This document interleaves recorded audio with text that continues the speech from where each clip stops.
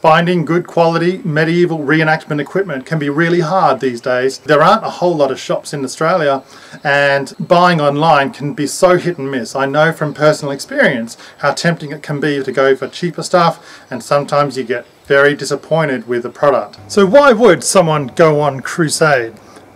Well, the medieval period was an incredibly different time to what we experience today.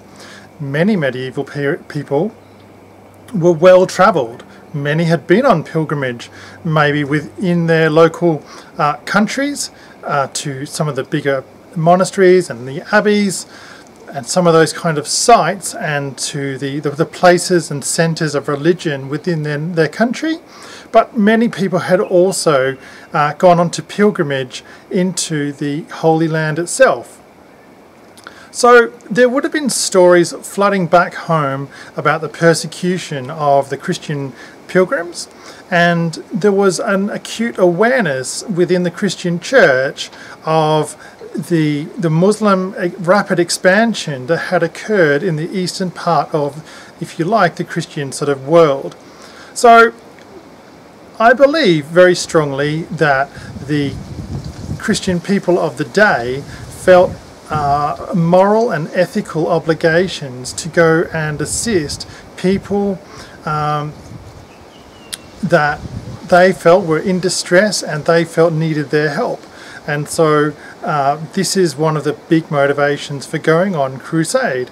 And the um, and the Pope had said during the Council of Clermont that if you go on to crusade that sins can be forgiven. Right there I believe that we can see some of the very big motivations behind it. I understand that today people tend to view Christian uh, people tend to view religion much more skeptically uh, and, and, much more sort of uh, it's it's not as big a deal and whereas in the medieval period uh, religion was a key focus of their life. Um, religion gave us the seasons, it gave us the times when we could celebrate through feasts and banquets, it gave us the times when we gave to each other through Christmas and this kind of thing. So, uh, um, religion, Christian religion, was huge within the, uh, the medieval world, and therefore um, giving back to that religion, I believe, simply was an act of charity or an act of faith and an act of service